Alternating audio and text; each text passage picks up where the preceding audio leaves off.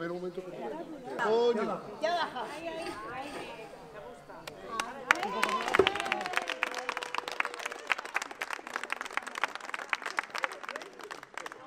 el Día de las Mujeres Trabajadoras y no hay ninguna que no lo sea.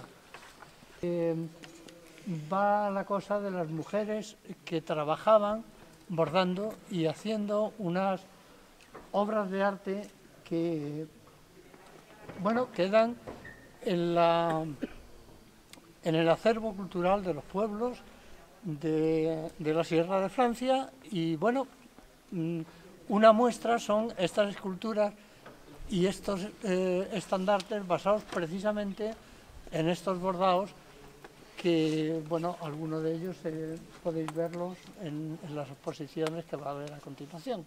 Como veis en aquel árbol eh, hemos simulado unas agujas que son eh, las agujas, el dedal, eh, el afilitero, la almohadilla donde se colocaban la, o donde se siguen colocando las agujas, como herramienta de ese trabajo tan bonito que es, el, que es la costura y especialmente el bordado serrano.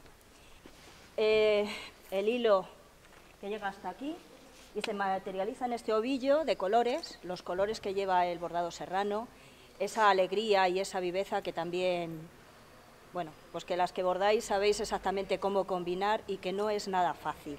la pájara como simbolizar un poco el día que soy, que es el Día de la Mujer. Y luego hemos intentado plasmar un poquito, no muchos porque no se puede, pero los que hemos podido hacer los, los, borda- o sea, los puntos del bordado serrano. Dentro de ellos hay una variedad, pero solo hemos podido poner algunos. Esta es la primera exposición que se hace aquí en Mogarra sobre bordado, pero no va a ser la última. Se van a hacer más, esperamos poder realizar más y además que sean monográficas, de una bordadora cada vez para que puedan exponer cada una sus cosas, sus bordados, todo lo que han realizado. También se van a hacer más exposiciones en otros pueblos.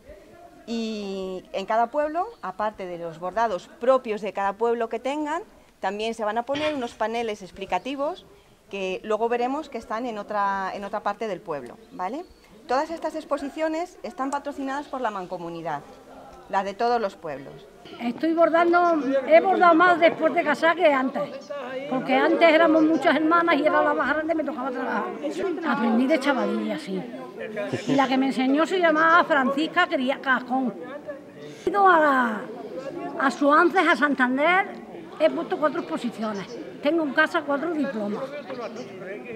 Y fui a Santander también y me hizo un homenaje en el Palacio del Mar.